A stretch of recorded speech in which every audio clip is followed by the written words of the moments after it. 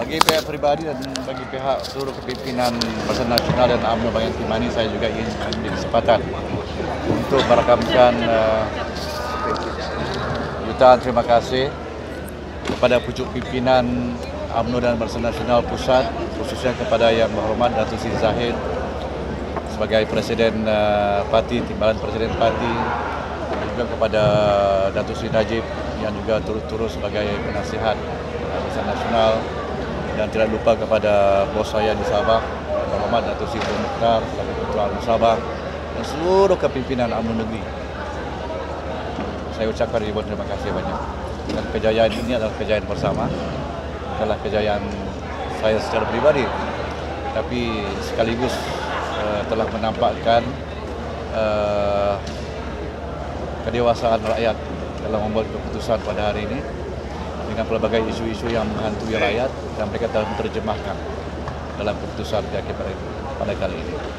Dan uh, untuk itu saya juga ambil kesempatan untuk merakamkan ribuan terima kasih banyak kepada mantan ahli parlimen Kimanis yang juga turun membantu Barisan Nasional uh, yang berbahagia dan Sri Panglima Hanif Haji Ahmad.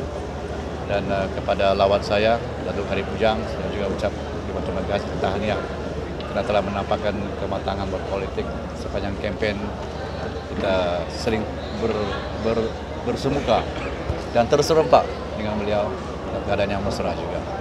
Dan Alhamdulillah saya rapatkan syukur kepada Allah SWT uh, dengan kemenangan ini dan bagi saya kemenangan ini merupakan satu tanggungjawab yang cukup berat dan besar kepada saya sebagai ahli parlimen, bakal menjadi ahli parlimen dan seluruh rakyat manis dan seluruh rakyat Sabah juga mengharapkan akan uh, momentum ini berterusan. Kemenangan ini akan berterusan. Itu negeri Sabah. Saya memang tidak menduga kemenangan ini. Tetapi saya sudah nyatakan dalam ceramah-ceramah kami apabila rakyat telah bersama-sama dengan kita untuk menjatuhkan sebuah parti, maka jatuhlah parti itu. Jadi sebab itu saya katakan warisan harus dikalahkan di Kemanis ini. Sebab mereka telah gagal melaksanakan amanah dan tanggungjawab mereka kepada rakyat negeri Sabah. Kami UMNO berjuang dalam pembangkang, dalam kesusahan, dalam macam-macam cabaran, rintangan, halangan. Tapi kami terus berjuang dan bekerja. Dan Alhamdulillah rakyat telah membuktikan bahawa tanggapan kami benar. Dan saya ingin mengucapkan berjuta-juta terima kasih kepada pengundi di Kimanis, sama ada yang mengundi BN dan mengundi warisan. Sama-samalah kita melihat masa depan negeri Sabah ini sendiri. Dan saya tetap yakin dan percaya UMNO Sabah akan bangkit daripada kesilapan-kesilapan yang lalu. Dan kita akan membetulkan UMNO Sabah dan Barisan Nasional. Bekerjasama dengan parti-parti tempatan untuk berhadapan dengan PRU ke-15 yang akan datang.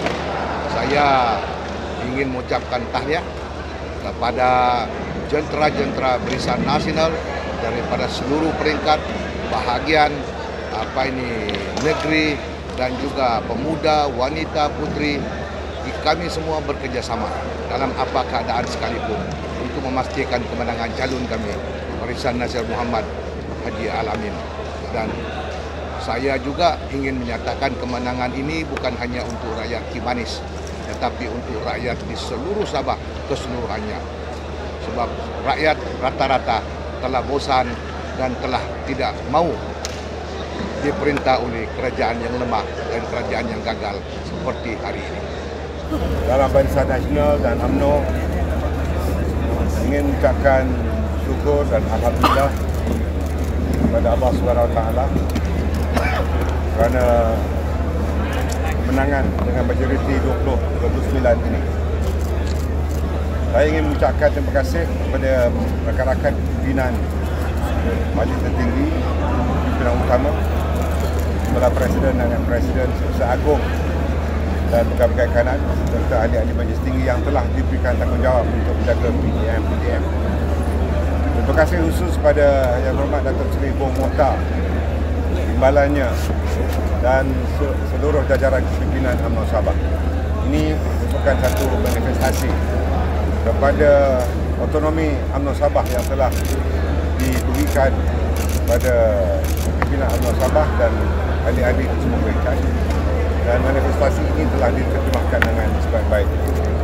Ianya adalah merupakan satu langkah pertama ke arah untuk terus merelevankan UMNO dalam perjalanan politik yang jauh ini dan saya fikir langkah pertama ini adalah merupakan satu pengiktirafan bukan hanya daripada pengundi-pengundi di Kimanis tetapi secara relatifnya pengundi-pengundi di seluruh Sabah terhadap kemenangan uh, Barisan Nasional melalui calon UMNO ini. Saya juga ingin uh, merakamkan banyak-banyak terima kasih kepada jentera yang didatangkan dari uh, seluruh negeri Sabah terutamanya rakan-rakan ketua bahagian dan parti-parti uh, komponen Barisan Nasional uh, terutamanya MCA yang telah datang dan rakan-rakan lain yang uh, di luar parti komponen Barisan Nasional. Uh, seperti PBS, uh, STAR dan uh, uh, PBRS uh, serta uh, PAS yang uh, telah menghantar bukan sahaja pesuruh uh, PASnya tetapi juga kepada uh, presidennya, timbalan presiden dan kepimpinan atasnya. Secara khusus, saya ingin mengucapkan terima kasih kepada yang berbahagia Datuk Seri Panglima Anifah Aman yang telah memberikan sumbangan yang cukup besar di dalam kemenangan ini dan ianya merupakan satu kesinambungan kepercayaan pengundi-pengundi Kimanis daripada beliau pada uh, Datuk uh, Muhammad Haji Alamin ini. Sekali lagi saya ingin mengucapkan tahniah kepada Datuk Muhammad Haji Alamin.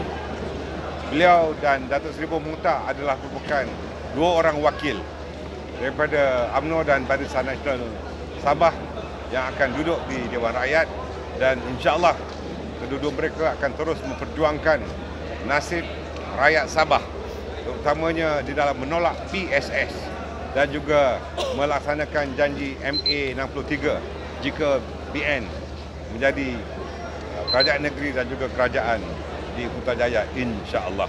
Dan juga uh, kita akan uh, menawarkan beberapa manifesto nanti bila sampai masanya untuk dihidangkan oleh Barisan Nasional Sabah sebagai sebagai aku janji yang baru.